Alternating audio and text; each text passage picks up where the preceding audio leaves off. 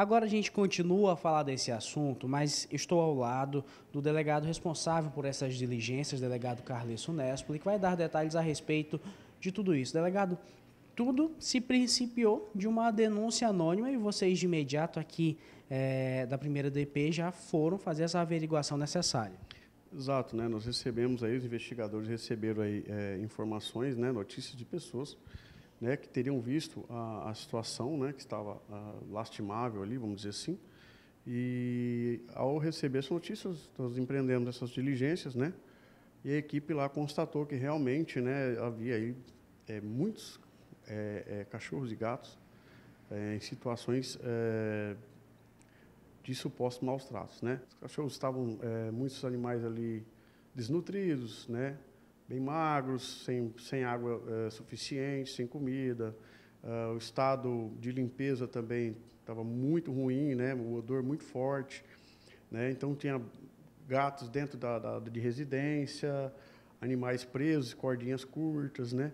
Tudo isso pode configurar uns maus tratos, não é só agredir um animal. Né? Então, a questão de você também deixar ele em situações é, precárias também configura. E agora vamos aguardar o laudo, nós vamos é, estar sendo intimada a proprietária para dar os esclarecimentos necessários, né? E depois dali nós vamos verificar realmente, né, é, situação para ver se vai indiciar a pessoa por maus tratos ou não, encaminhar, obviamente, para a justiça. Delegado, muito obrigado pelo detalhamento dessas informações. Nós também conversamos, na realidade, o doutor Herbert, ele que é responsável pelo Centro de Zoonoses, nos enviou um vídeo falando a respeito né, da real situação de saúde desses animais, a qual agora eles passam por uma avaliação no próprio Centro de Zoonoses. Vamos ouvir agora o que disse nesse vídeo o doutor Herbert. Estão muito debilitados, é, passaram por um período longo aí de falta de alimento, alimento correto também. Então nós temos uma equipe de médico veterinário agora intensiva em cima deles. Estamos fazendo uma triagem para ver o que está, qual é a situação realmente de saúde desses animais para a gente já começar o tratamento. É, e logo após esse tratamento, nós vamos colocá-los na questão de bem-estar animal aqui dentro, onde passa por a mão de um agente nosso, onde vai reabilitar a questão social desses animais para poder ter um convívio com o ser humano sem eles terem medo, porque eles foram agredidos de alguma forma, né?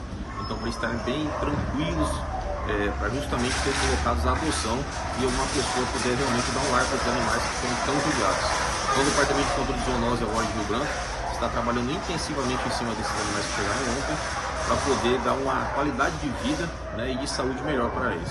Bom, muito bem destacou o Dr. Ebert essa situação. Agora é esperar que mais na frente, após todos estarem recuperados, eles sejam colocados para adoção e possam ter de fato, um lar para serem cuidados. As imagens são de Matos Oliveira, Luan Rodrigo, para o Gazeta Alerta.